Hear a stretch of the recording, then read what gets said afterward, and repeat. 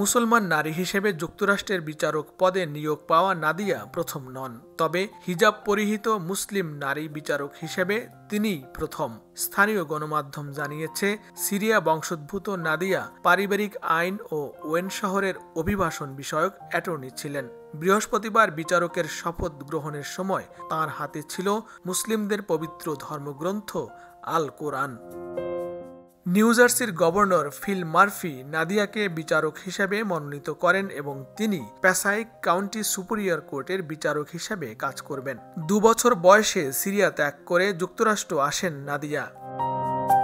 দুই হাজার তিন সাল থেকে নাদিয়া মার্কিন মুসলিমদের নাগরিক অধিকার সংস্থা আমেরিকান ইসলামিক সম্পর্ক বিষয়ক কাউন্সিলের নিউজার্সির বোর্ডের চেয়ারম্যানের দায়িত্ব পালন করছেন। এছাড়াও পারিবারিক সহিংসতা ও সামাজিক সেবামূলক অলাভজনক প্রতিষ্ঠান ওয়াফা হাউজের আইন উপদেষ্টা ও ইসলামিক সেন্টার অব প্যাসাইক কাউন্টির চেয়ারম্যানও নাদিয়া কাফ। লস্কর আল মামুন, সময় সংবাদ, যুক্তরাষ্ট্র।